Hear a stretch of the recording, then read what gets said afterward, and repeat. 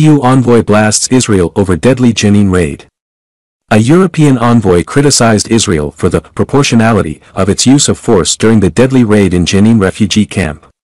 The envoy's comments align with UN Secretary-General Antonio Guterres, who also condemned the excessive force used by Israeli forces. A delegation of UN officials and diplomats from 25 countries, led by the European Union representative to the Palestinian territories, visited the camp and expressed concern about the weaponry deployed during the operation. The delegation called for an end to the cycle of violence and emphasized the need for a political solution to the conflict. The raid caused significant damage to the camp's infrastructure, including water and sewage pipes, houses, and schools. UN officials appealed for funds to support the rebuilding efforts in the camp, as the current appeal is underfunded. Algeria pledged $30 million, and the United Arab Emirates committed to providing $15 million for the reconstruction of Jenin. Poland moves troops to eastern border amid Wagner fears. Poland has begun deploying over 1,000 troops to its eastern border amid concerns of increased tension caused by the presence of Wagner group fighters in Belarus. The move is a demonstration of Poland's readiness to respond to any attempts at destabilization near its border. Last week, Poland announced the deployment of 500 police officers to enhance border security. The country has witnessed a rise in the number of migrants attempting to cross the Belarus border, with over 200 people making illegal attempts on Friday. Poland has accused Belarus of orchestrating a migrant crisis by bringing in individuals from the Middle East and Africa and attempting to push them across the border. A senior Wagner commander confirmed that the mercenaries from the group were preparing to move to Belarus. Portugal states support for Ukraine's NATO membership. Portugal expressed its support for Ukraine's NATO membership in a joint statement with Kiev. The statement highlighted Portugal's commitment to backing Ukraine's path towards NATO membership when the appropriate conditions are met. Portugal has previously provided military equipment to Ukraine, including tanks. Both countries aim to address the issue of membership and military support for Ukraine at the upcoming NATO summit in Vilnius. President Zelensky discussed peace formula proposals and Ukraine's future EU membership with Portugal's Prime Minister Costa during a phone call.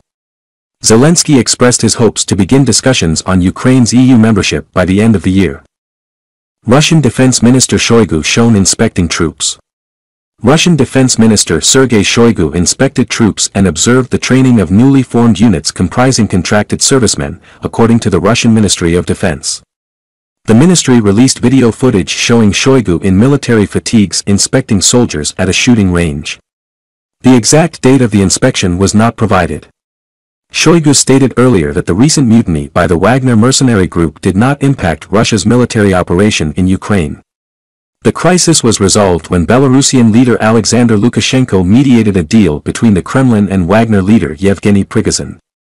The defense ministry stated that Shoigu personally assessed the training of contract servicemen in various combat scenarios, including urban warfare. Top Turkish officials to discuss economic cooperation in Qatar ahead of Erdogan visit. Turkey's Vice President Cevdet Yilmaz and Finance Minister Mehmet Şimşek are set to visit Qatar to discuss economic cooperation opportunities and strengthen relations.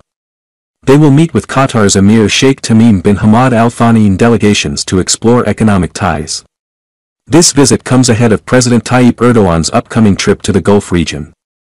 Turkey expects direct investments of around $10 billion initially, and a total of $30 billion, in sectors such as energy, infrastructure, and defense from Qatar, Saudi Arabia, and the United Arab Emirates following Erdogan's visit. Investments and funding from the Gulf have helped alleviate pressure on Turkey's economy and currency buffer since the country initiated efforts to repair ties with Saudi Arabia and the UAE in 2021. NATO pledges to spend at least 2% of GDP on defense. NATO allies have reached an agreement to commit to spending at least 2% of their GDP on defense, solidifying the alliance's previous goal.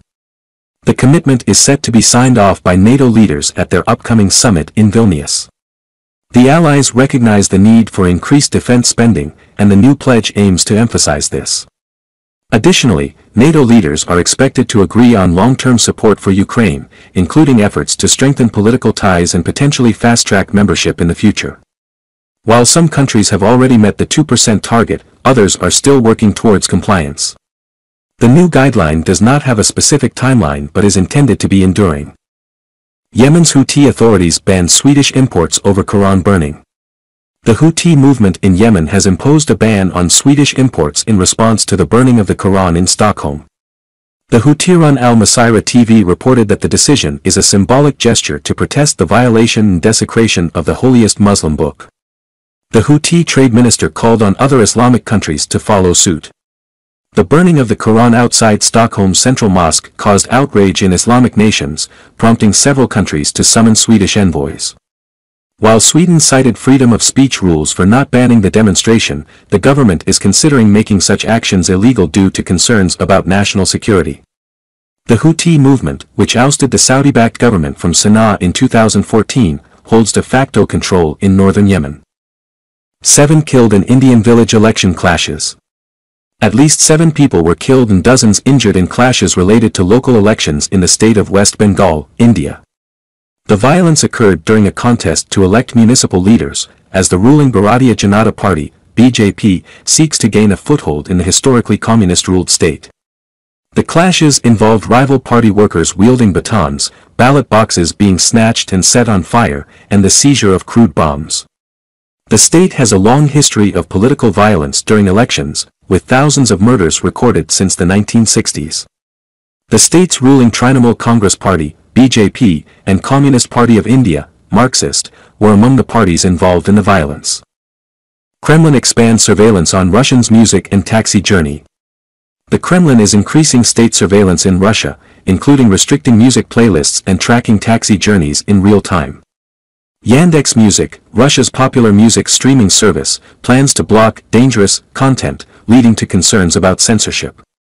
Yandex, often referred to as the Russian Google, is seen as a tool for spreading propaganda and spying on Russians.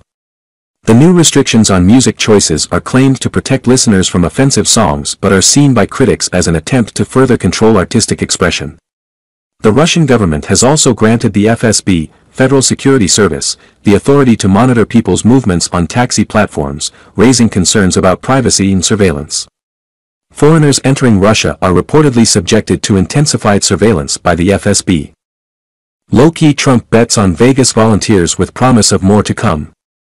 Donald Trump made his debut in Las Vegas, Nevada, with a less flashy appearance than usual. Speaking at a volunteer recruitment drive, he emphasized the importance of the upcoming election in his belief that Nevada is a Republican state, despite losing it in consecutive presidential campaigns. Trump repeated false claims about the 2020 election and touched on various topics like the border, China, and critical race theory. He also took jabs at Florida Governor Ron DeSantis, criticizing his personality and past voting record on nuclear waste storage. While polling in the state is limited, early polls show Trump leading other GOP contenders by a significant margin. Trump hinted at more rallies in the future with large crowds.